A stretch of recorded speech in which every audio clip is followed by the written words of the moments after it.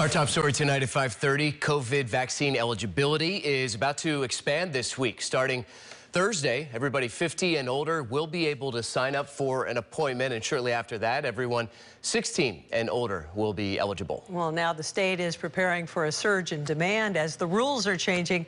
KRON 4's Ashley Zavala explains whether there's enough supply to keep up. The California Department of Public Health said Tuesday the state is expecting larger vaccine shipments than usual in the coming weeks, with 4.5 million doses coming into the state between this week and next. The state is expecting to receive an average of 2.5 million doses a week in the first half of April, working up to more than 3 million a week by the end of that month.